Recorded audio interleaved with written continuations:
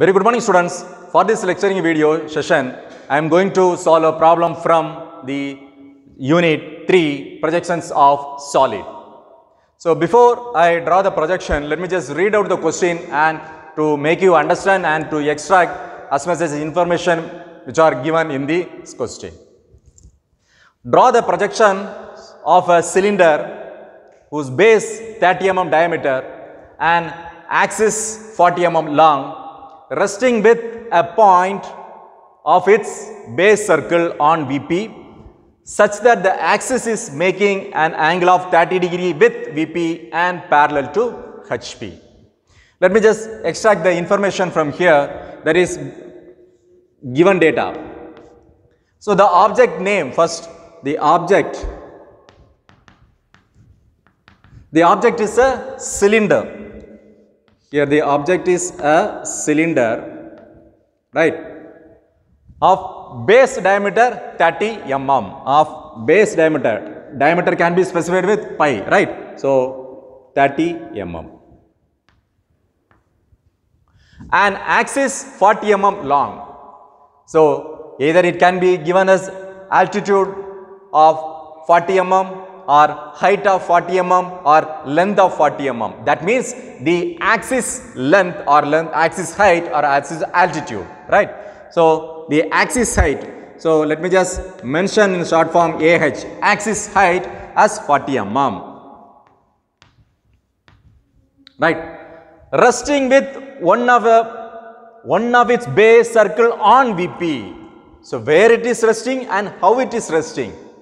It is resting on VP, how it is resting? With one of it point, right, with one of a point. So resting, resting on VP with a point, with a point, resting with a point of the base circle on VP, right, such that the axis is making at an angle of 30 degree with VP. So, the axis inclination, axis is inclined to VP at 30 degree. So, 30 degree inclination, got it? And parallel to HP, fine. So, this is the cylinder, uh, right? So, the top face and bottom face are simply base or bottom base of similar cross section of similar size and similar dimension right? And these are generators these are generators. So as i taught you in the introduction video uh, the cylinder doesn't have any edges or corners. It's full of what? The generators. And it doesn't have any uh, corners, right. So, it how it is resting with one of the point. So, with these are circumferential points, these are full of circumferential point. So, here there is no confusion at all. Anywhere you can just rest it because these are full of points. There is no corner or edges. So, absolutely there won't be any confusion by positioning it. But one thing you have to remember where to start the diagram. That means the two shape, the circle where you could see it, where the axis is perpendicular, that is axis is perpendicular to any one of the plane, whether it could be uh, perpendicular to VP or HP, where you see there you will get the, uh, the true shape. Here it is resting on VP, right, and look at here, the axis is making 30 degree with VP. By the way, what do you mean by axis? An imaginary line joining the center of the top face and the bottom face, right? That is axis. Suppose axis, assume this is an axis, my finger is axis. If I tilt in this manner, this particular object is tilted with HP, right? If I keep in this manner, now the axis is making some inclination with VP, right? So, what did I tell you? where the axis is perpendicular, there you will see the true shape.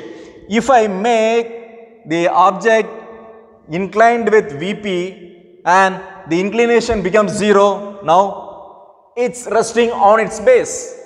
Now the axis is making 90 degree with VP and parallel with HP. Therefore, you could see the true shape that is a circle cross sec, uh, circular cross uh, section on VP. The cross section of circle will be seen on VP. Got it? So, we'll have to start the diagram on VP. So, how, how it is positioned? It has been, this is what the final view. It is making some inclination that is 30 degree with VP. So, with this we cannot even uh, draw the true shape of the object. Therefore, the axis becomes perpendicular with VP. There you could see the cross, I mean the circular cross section, right. So, let me just start drawing it, the projections for which initially we have to draw the xy line. x, y represents the reference line or ground line. Above xy is VP, below is HP. There would be two stages. There would be two stages. The first stage would be simple position or simple resting. Symbol position or simple resting. Stage 2 belongs to axis inclination or final position. Axis inclination or the final position. Where to start the diagram?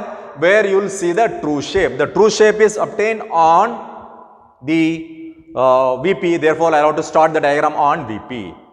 So, here the diameter is given as 30 mm. So, diameter is given 30 mm.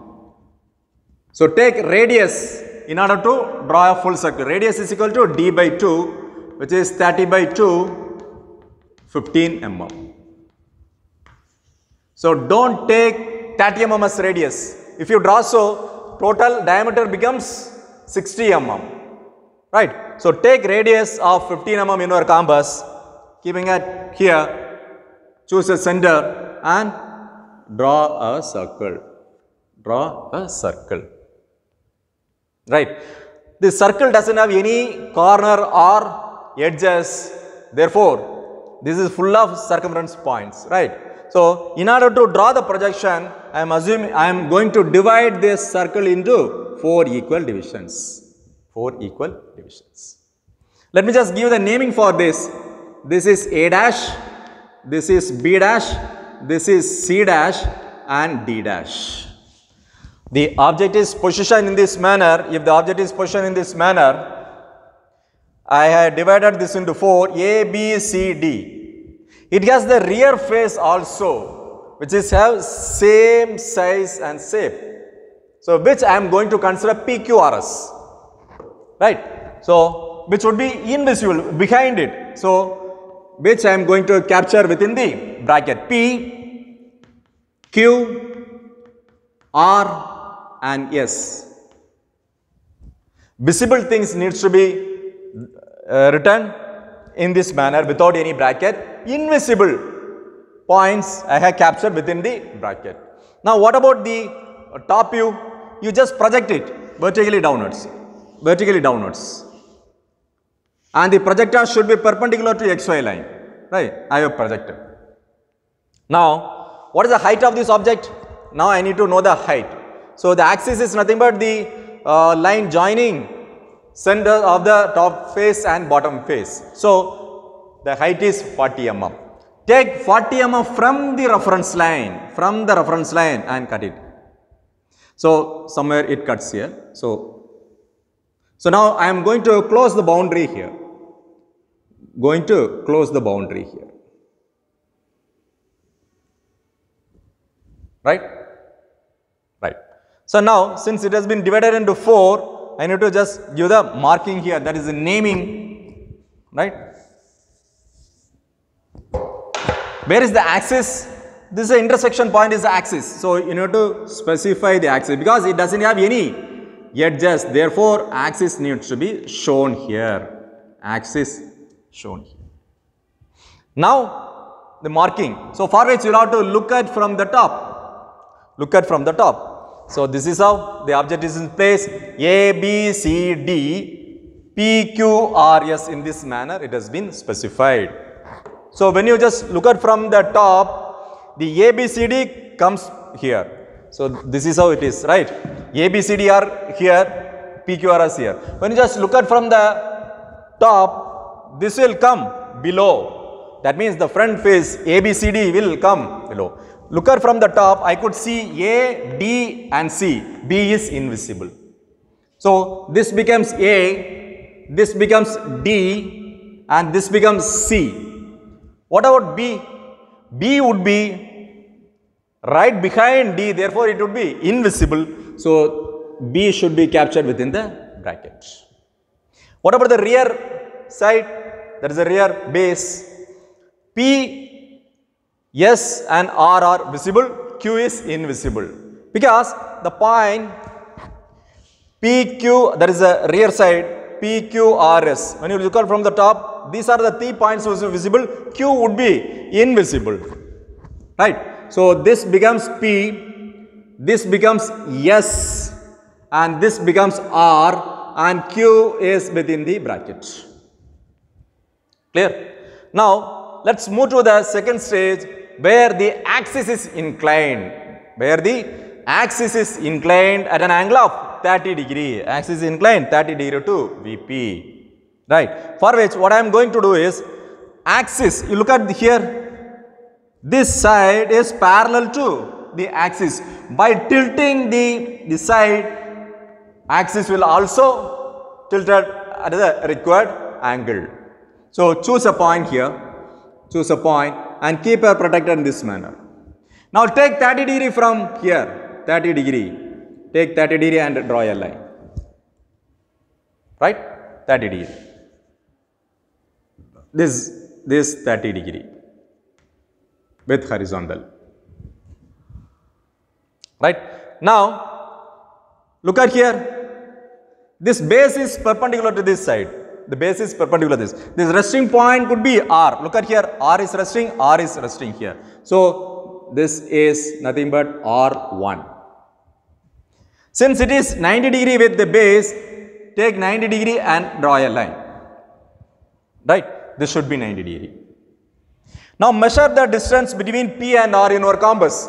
Keeping at R, cut an arc. This becomes P1. Now measure the distance between R and S. From R, cut an arc and this becomes S1, Q1 within the brackets. Now measure the distance between P and A in our compass.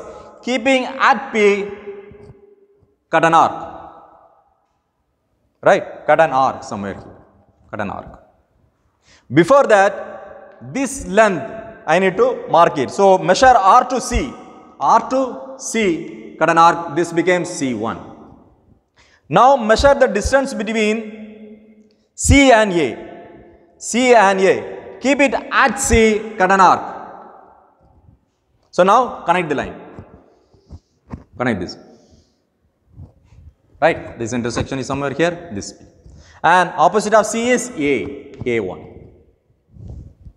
Now measure the distance between D and C. Keep it at C, cut an arc, this becomes D1, B1. Now this is the axis. Right. Now the inclination should not be mentioned here because axis is inclined. Therefore, you just extend this. So now this is inclined at 30 degree. This is inclined 30 degree. Got it? So, now use the HR HB pencil to draw as dark as possible for the object lines. These are object lines, so I am just using to draw dark line. Now, this particular image has been tilted at an angle of 30 degree. What about the final front view? For final front view, you will have to do that means the projection, take projectors from each and every points. So each and, each and every points. Projectors, draw vertical projectors from all the points. Then from the front view, the initial front view, oh, draw a horizontal line. Draw a horizontal line. So now I got a box over here. Within the box only the object is going to come. That is the final front view is going to projected within the box. The box shape is this much.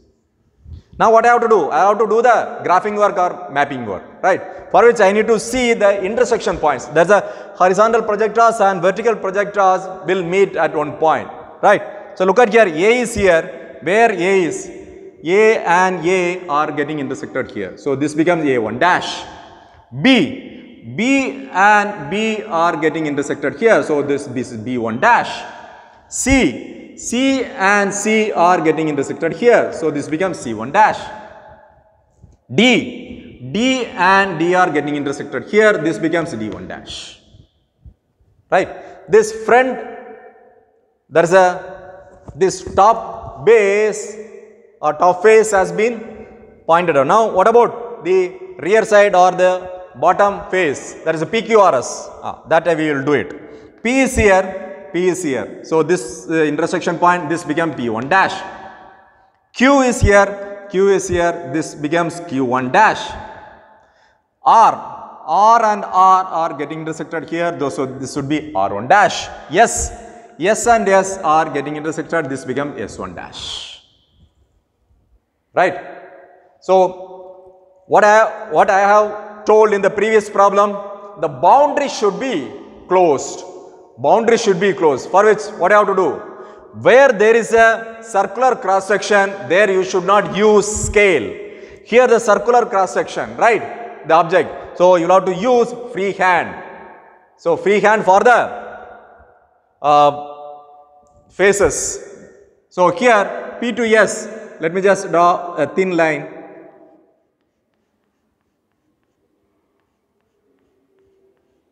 Right, the boundary, right? So, boundary I am just doing it. Now, connect this. The boundary should be always visible. So, therefore, you can just uh, draw as dark as possible. Right? Boundary has been drawn. Next, what I have to do? Have to do the checklist to cross check it. Right? So, checklist that is top face. Top face is A to B, B to C, C to D and D to A. And bottom or rear face or base P to Q, Q to R, R to S and P. Then the longer edges, it does not have edges so it can be called as generators or the slant height. So, right. So, the generator height